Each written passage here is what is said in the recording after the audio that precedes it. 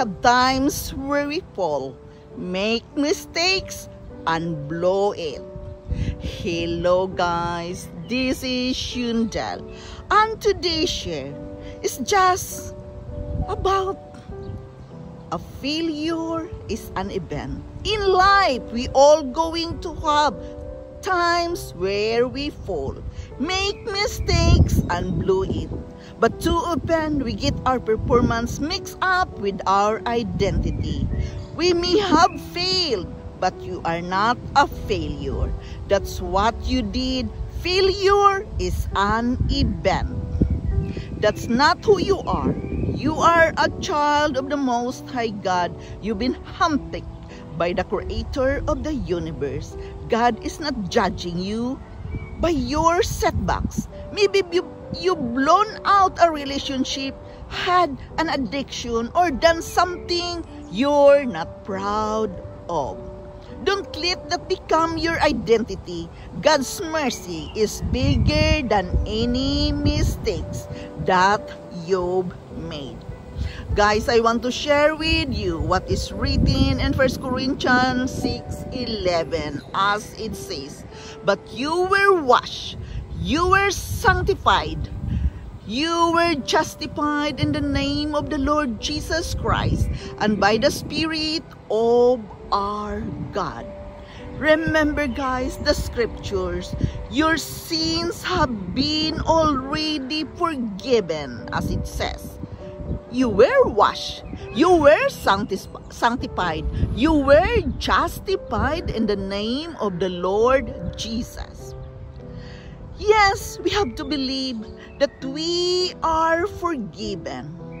Every mistake we've made and ever will make has already been paid in full. The real question here is, will you receive God's mercy? You don't have to go around feeling guilty, not excited about your future. You are free. You are clean. You are restored. Guys, we have to acknowledge that the love of God and forgiveness to us is not based on our performance, but upon the fact that He is our Creator. We must understand that every mistakes we've made and ever will make has already been paid in full by Jesus Christ in the cross. We must believe that we are clean. We must believe that we are free. We must believe that we are restored. Just think that failure is just an event. It did not pronounce you who you are. The failure is just happening there. It's just an event and it will pass by. It will not last forever.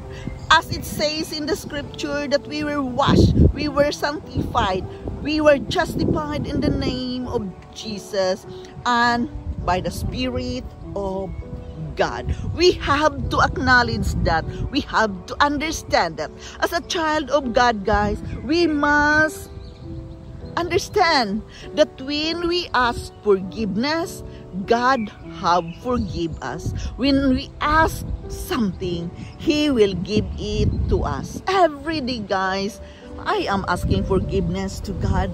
I am asking Him to guide me because many times we are not aware about it. We are committing mistakes even we don't mean it. It's just happened suddenly and it's very difficult to work with it right away, especially when our life is in chaos, especially when we face different kinds of problems, especially when struggles in life is too hard. So therefore, guys, it is very important that you feel good with yourself. You are confident enough to say to yourself, I am free. I am clean. I am restored. I am forgiven. The moment you ask God is already working towards your behalf. Yes, He is working behind the scenes for our behalf.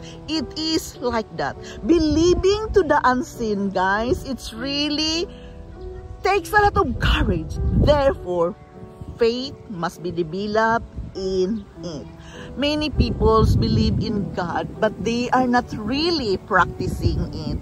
But guys, I don't have a choice. I live here in a foreign country struggling into something of different kinds of challenges in life. But how can I really make it if I don't have that holding point? So I believe in the scripture. I believe in God. I don't have a choice. When I am in struggle, I have to dwell unto Him.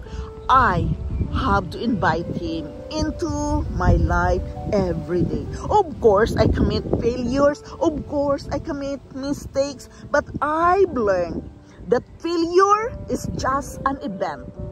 It will come and goes into our life. The important here, guys, that we know how to acknowledge it and ask forgiveness. We are all human. We all have weaknesses. So therefore, it is very important that we can acknowledge it right away. Oh, oh, this is a mistake. This is not good.